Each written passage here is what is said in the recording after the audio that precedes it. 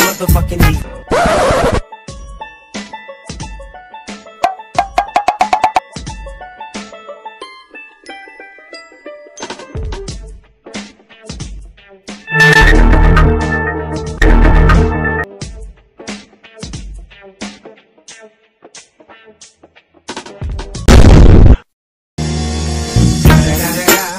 It's the motherfucking Eagle Double G. Snoop Dogg.